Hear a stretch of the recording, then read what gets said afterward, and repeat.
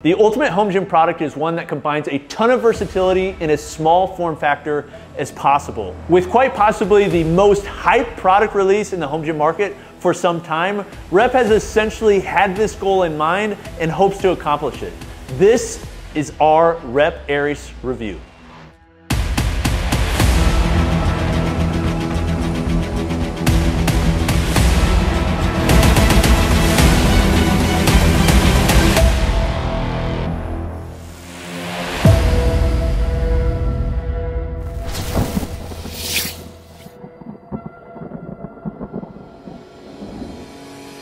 Hey guys, it's Coop from Garage Gym Reviews. And today I am probably more excited than I have been to review a product for some time when something that claims to do as much as this product does and in as small form factor as this one does and has as much hype, video, content, I get really excited. This is one that I've been wanting to do ever since it was announced. It's been like a couple years now and we finally have it here. Now, this one is kind of special in that I've had a couple things happen. Number one, we had it shipped in, have been able to train with it. So I've trained with it every way that I know how, some DIY hack stuff, some like stuff they don't even mention on the website, as well as the mini exercise they talk about. In addition to that, I literally yesterday just got back from Colorado where I was visiting Rep Fitness and was able to speak with their engineers on their goal for the machine.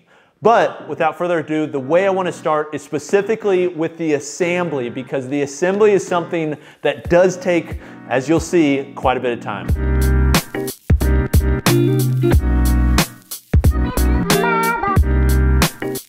Thanks, Coop. All right, so overall, the assembly process on this was it, was, it was pretty good. I'm not gonna lie. It's not the best assembly experience that I've had in the world, but is by far not the worst. Whenever you first open up this massive crate that is literally like the size of a hot tub, you find these boxes with all these numbers on it, and my mind automatically jumped to, oh, Nice job, rep. You, you put numbers on the boxes that correspond with the steps that we're gonna find in the instructions. Quickly, we found out that that was not the case. So rep, do yourself a favor, do us a favor, correspond the boxes with the steps and the instructions, and it'll make for a lot better, a lot smoother assembly experience. There's a lot of pulleys. You have to take each pulley off. You have to take the bolt out in order to actually run your cabling. You got two 310 pound weight stacks, so be prepared. You're gonna be doing some lifting. And with it being a 96 inch rack, you're gonna be doing a lot of overhead work. The closest rack that I would compare this entire actual system to is really the Force USA G20, which took over 40 hours to build. You've heard me complain about it in multiple videos. This took us four or five hours, somewhere in there to build. If you were doing it by yourself, it's gonna be a 10 to 12 hour a day for sure. Uh, so overall, it was a much better experience uh, than building something like the Force USA. Okay, because there's so much to talk about here, I've broken this up into five sections. First is pulleys and cables. Then we've got functional trainer. Then we've got weight stacks. Then we've got lat pull down and low row. And finally, we've got attachment and accessories. I'm gonna walk through all of these. I'm gonna give you my opinion on all of them. I've used every part of this. I'm gonna compare it at the end to other ones that are out there and give you my overall recommendation along with all the pros and cons. So jump on, we've got a ride. All right, first is pulleys and cables. As you can imagine, there is a lot going on here. And this is kind of the magic. They've got to route all this cabling all throughout a normal power rack because what they're using as their base is the Rep PR4000 or Rep PR5000. Now I'm not gonna go into every aspect of that rack. We've done full reviews on those. If you'd like to see them, you can check them out in the link below the like button, along with any links that go to this product or any other video that we talk about within this video. But the base of the system is the traditional power rack. This is made after the fact. So it's not like they brought out the Ares and then they created the squat rack first. No, they've got to work around it. They had to figure out a way to have six attachment points all throughout the system. And so in order to do that, you have to throw in a ton of pulleys. In fact, this thing has 36 pulleys. Rep traditionally has used plastic pulleys, nylon pulleys, and they've since switched to aluminum. I actually asked them about this while I was out in Colorado, and this was their response. There's basically a, a trade-off between either a nylon pulley or an aluminum pulley. If you go with aluminum, the cables are gonna wear faster. Okay. So, but if you're going with the nylon, then the pulleys are gonna wear faster. Yep. In a home gym environment, the biggest thing is really gonna be wanting those pulleys to last a long time Sure. because you're really just not going to put enough wear into that cable to need to replace it anytime soon. So the pulleys are throughout the system. This is what connects the cabling, which has a 96 inch total travel for the 93 inch rack, and then 72 inches on the basement friendly 80 inch rack. So depending on which rack you get, that's gonna allow you to have either a farther or closer to the rack system. But I will say that because they're using a two to one ratio on the stacks with all the pulleys they're using throughout, you can get far enough away from the system where you can do just about any movement you want to. Now, one thing that I thought was kind of cool, if you look on all the pulleys, they actually have holes throughout. And I asked them about this, and they said the reason they did this is because they wanted an homage to the equalizer plates. So if you remember on the equalizer plates, they're like the six shooter style, but instead of a circle, they're using like an octagonal idea. If you look on the front pulleys, it's the same exact cutouts. One, this makes the system lighter, but I think the real feature for it is more aesthetic. You can see the pulley moving while you're using it. And although it's not like a huge deal, it just shows that they're thinking through the details. And you'll see throughout this review, there are just a lot of details. And there kind of has to be because there's just so much going on. Now, the thing that you're really wanting to know about the cables and pulleys is one, are they gonna be able to hold as much weight as the system is designed for? Well, they're designed to hold 450 pound weight capacity. That's what they come out and said. The stacks do not meet that but it gives you a little bit of extra range where if you wanted to increase the weight on the system, which I, some people probably will, although I don't think really 99.99999% will have to. But if you'd like to, you could add on a pop pin or a plate pin to increase the load. But throughout the entire range of motion, it's extremely smooth. This was one thing I worried about. Anytime you add complexity, especially with pulleys, you're introducing potential friction or the potential for the cable to pop off. So in order to test it, I wanted to do slow movements, fast movements, just basically trying on all the attachment points, how can I try to get this off? And it is smooth through the entire range of motion on every attachment point which shows they thought through a lot on how to get the cabling moved throughout the rack. Okay, next is the functional trainer, and this is what we see on the front. Now, in my opinion, the functional trainer on the Ares system is one of the, I would say, somewhat low points. One of the things that people do on functional trainers is they like to do chest flies. And with chest flies, you want a lot of stretch.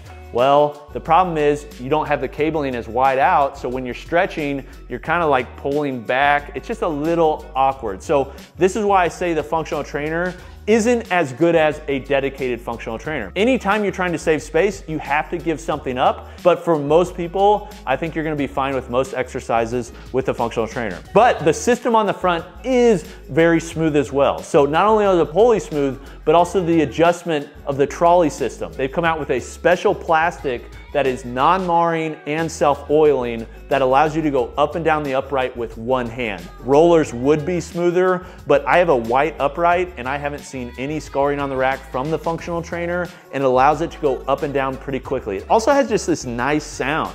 Like when you pop the pin, it's an oversized knob with a knurled handle that is inspired by barbells. When you grab it, it just feels really good in hand. Now, one thing they thought through on the pulley is using the laser cut on the upright to know where you're at. So they put a cut out there so you can see exactly what the laser hole number is when you're going up and down. So you can use that as reference when you're trying to level out both sides. Again, another minor feature, but could have been a detail that was overlooked the entire system from the side to side sway, how smooth it is, to just the overall fit and finish of the knurled handle, like it's money. Really the biggest downside of the functional trainer is something that's just inherent with squat racks, is that it's kind of thin, but overall, the functional trainer gets the job done. Next is weight stacks. When you're using a two to one ratio and you're wanting to use it for a lat pull down, that can sometimes cause a lot of issues because let's say you use a 300 pound stack, which is standard on a two to one ratio, that's 150 pounds on a lat pull or low row. A lot of people are going to be able to do more than that. And that's why they introduced not one,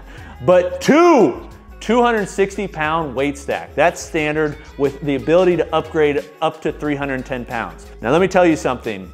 When you add two 310 pound weight stacks to the back of a rack, it is not moving anywhere okay? That's one of the nice things about this system is it's sitting on the ground on the back. It increases the stability of your rack a ton. There is no side to side sway. But the other benefit of it is you are able to combine them together. As I'll talk about in the attachments portion, they built this so you could use both stacks at the same time on the same handle, or you could use them alternating.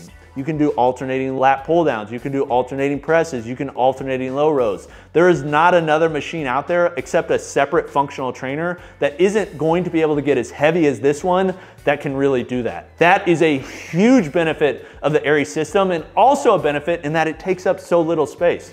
In fact, this sits in about the same spot that their lat pull down and low row that was plate loaded sits. So this means you can still squat bench and do everything you could do inside of the rack like you could do before, except adjustable bench. So if you're gonna do incline, you're gonna have to figure out a way to do that. That's really the only limiting factor I found to this taking up so much of the inside space. It still allows you to store your plates on the outside while being able to work all throughout the inside. It powers all six attachments, and I would say for most people, I think the 260 pounds is probably fine, but I can understand never wanting to be limited, so that's why I went the 310 pound option. Now, one thing that I like that they added on the system is instead of putting the actual weight of the stack on the stack, they put the feel weight. Sometimes you'll use the lat pull down and it'll say like 300 pounds, but really it's a two to one ratio, so it's having that, so it's really 150 pounds. It's whatever the feels at the top. Next section is the lat pull down and low row. The lat pull down is really the shining achievement of this rack. It's just very well done.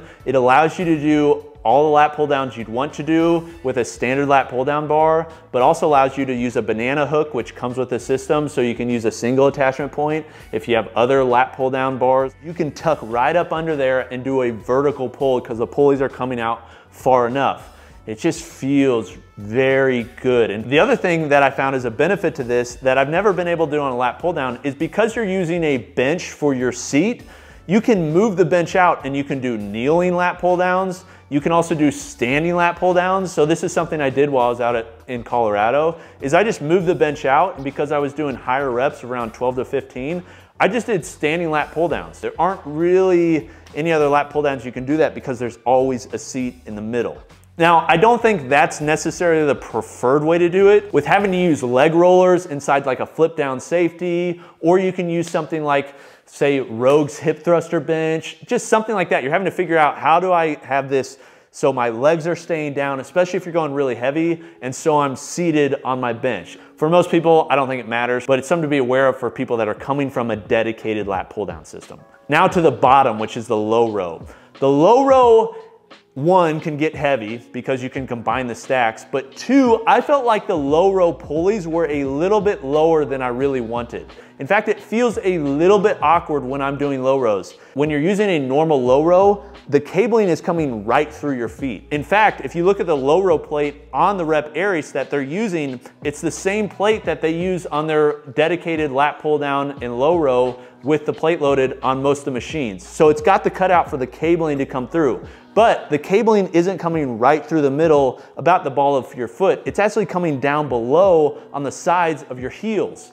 So it's just a little bit different angle than what I'm used to. This is gonna limit your ROM a little bit, but if you're sitting with an upright back and you're just pulling, it works. But my preferred way to use the low row is to use separate handles. They do include a bar that allows you to attach the two together, but I think for most people, like the handles just feel better, allow you to have a better range of motion and just feel less restricted, so that's how I'd use it.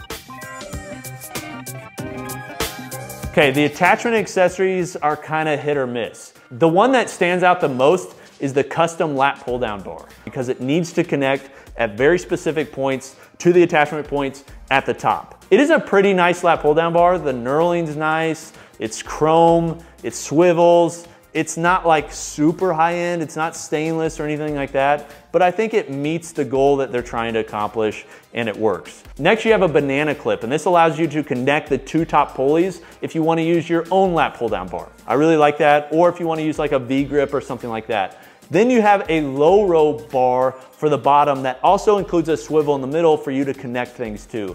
This to me is like half done.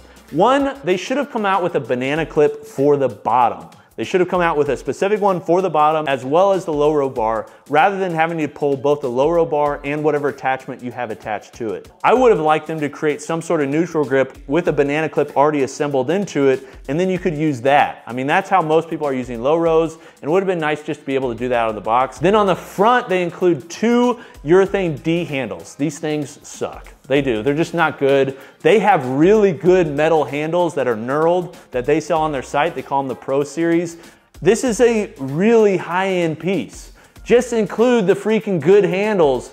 If somebody's buying this at the cost that it is, they're not gonna mind spending 20, 40 bucks more to have nice handles. They did tell me though that they are working on a better option, so we'll see what that is. Maybe they're working on it because I just trashed them when I was in front of them. These things are not good. they're gonna beat me up once the camera's off. Okay, so that's every part of the system. Let me kind of bring that all together. Here's what I think is very good about this system. Number one is there is so much you can do in such a small factor. You are using a rack you've already got and suddenly you have a lat pull down with really heavy stacks. Suddenly you have a low row with super heavy stacks. Suddenly you have a functional trainer with super heavy stacks. In addition to that, it doesn't limit any of the inherent functionality of the squat rack. It's not like the cables run along the bottom holes. No, they made the cables run below so you can still use band pegs. It's not like the stacks get in the way of squatting and it's like right in your face. No, they're using a pushback cross member that allows it to sit farther back. It's not like you're having to clear space from the back of the rack it doesn't limit any of the functionality, and it's really only upside. Like there's just so much you can do in this small form factor. It is incredible. Seriously, like it is amazing how many different attachment points. Six attachment points with two 310 pound stacks. I'm so glad they didn't like chimp out and just put in like 150 stacks because you can get a true lat pull down, true heavy low row, as well as functional trainer all in one system. I mean, it's just like, it's very well done. The next is like how complex it is, yet how smooth it feels. It's not like they ran all these cables like haphazardly. Like this is something where they thought through the details. In fact, they thought through the details so much, even on assembly, when we're like assembling the bottom pulleys, instead of having a separate nut, they weld the nut to the bottom so you can just quickly screw it in without having to try and get your wrench under there. There's just so many details from the cutouts on the rep logo, to the equalizer plates, to the two attachment points and the distance between them, the low row plate. There's just a, like a lot there. So I'm glad they took the extra time for it to come out and to work on it because I think it's really paid off. Next, they didn't limit the purchaser or the person who owns a, a, rep squat rack already. Whatever depth you have and you own a PR 5000 V2 or a PR 4000, this system's gonna work, which I think is awesome. Except for those that own, own an Omni like Nathan. Sorry, Nathan. And the four other people that own OmniRace. and then lastly, they thought through this working with their other attachments. If you wanted to use, you know, say jammer arms, whether you want to use their ISO arms or Rogue's LT1 trolley system or Sorinex's, like because of the way the functional trainer works and moves up and down, you can basically just move your jammer arms out of the way and use them. Or you can still use your safety spotter system or your half safety spotter bars or really any of those attachments you want to use. This doesn't limit you from using those. One of the most fun things about having a home gym is experimenting with movements. You know, you're not there looking goofy for everybody at the commercial gym because you have so much heavy stacks and so many cable movements and you're using one inch holes on three by three uprights, like the amount of attachments and things you can figure out to combine with other attachments you have is awesome. It's like an erector set, it's very fun, and I will find a lot of people that will get this will be experimenting. Overall, like I am a huge fan of this, and this will have a permanent spot in my garage gym. But on the con side, number one, there's no band pegs. So if you look on their Athena system, if you look on their lat pull down system, it's got some sort of accommodating resistance like band pegs. It's just built in the system. It's something that a lot of people like to use. Now, because you've got one inch holes, you can probably figure out a way to use band pegs. I'm sure I can figure out a way to use band pegs and then wrap bands around it, but it's just not really made for that. Number two, as you heard Sam talk about, is the assembly time's long. Like, this is just a complex product And some of it is pre-assembled, but a lot of it isn't. And there's just so many pulleys you gotta figure out how to put together. It's nice that they did assemble some of the bottom part and some of the pulleys so you don't have to like all of it be assembled, but it would be nice if it was quicker. It's just kind of the reality. And then once you build it, it's there. So make sure when you put this together, like one, you're gonna take a lot of time, so you don't wanna do it twice. And two, just make sure you like the spot because you're not like budging this to the side or something. Like it's it's there. So don't be an idiot like us. Like we built it two inches too close to the wall. We forgot that the pulleys stick off just a little bit. And so we had to get car jacks. We had to get ratchet straps. I had to attach it to my dumbbell rack over here. Like Sam was like, how can I MacGyver how do we get this to move? And it just took all that to move it two inches. Next is the low row pulleys. I wish they were just a little bit higher and I wish the accessories that came with it was some sort of banana clip so I could do a neutral grip pulley. Because they're down below, if you do any sort of pull where they're connected, the potential is they could hit your feet. I feel like they could have made the low row foot plate push out a little bit farther so you could have more range of motion and then you wouldn't be hitting your feet. I feel like there's just so much distance on these on this cable travel and why not use it in a way that allow the pulleys to be a little bit higher so you're not hitting your feet. Again, this is minor, but it is something that I was thinking through. If you really like using neutral grip for pulling, the low row is just not quite as good as a dedicated single cable low row. The other ones are pretty minor, like the accessories are just okay, but you can buy other accessories. The start weight on the plate is 10 pounds and it goes in five pound increments. 10 pounds may be a little bit heavy for people on certain therapy exercises, but again, I think it's probably okay too. And then lastly, just understand you can't really use a spotter while you're benching. You should be using safety spotters anyways, but if you're lifting with friends and you're used to having somebody there help you get that last rep, you got it, buddy, then you may not be able to use that guy. Okay, so to close out, this is a long review, but there's a lot here. And somebody purchasing this like you wanna know the depth. This is an expensive piece and once you build it, like it's there. So you wanna know like if you put this together, if you buy it, you're gonna keep it. Here's what I'd say, like I'm a huge fan of this piece. Like I like it so much, my previous favorite cable piece is the Rogue Rhino. If I can figure out how to do belt squats on this thing, I'm probably gonna replace the Rogue Rhino in my rack with this. Like just, I like it that much. There's so much you can do with it. I was worried because of how much hype there was around it and rep in the past have had some product releases like their belt squat where I felt like they released them a little too quickly. I was worried about that a little bit with this one. No, this one is on the money. This is Rep's magnum opus. Like this is the best thing they've ever produced. And I highly recommend this to people that have the cash and want a compact system that does so much. I'm a fan of it for real. Now, one of the questions we're gonna get is should you get this or an Athena, should you get this or a dedicated lat pull down, should you get this or like the Prime single stack or the Prime HLP, Prodigy, some of those questions or Force USA, there's just a lot of comparables. I wanna do a separate video on the comparables, so if you'd like to see that, make sure you hit the subscribe button and let us know in the comments anything that we missed, anything you'd like to know, we'll try and get back to you, or any videos related to this you wanna see in the future. This has been Coop from Garage Gym Reviews. We'll see you next time. Peace.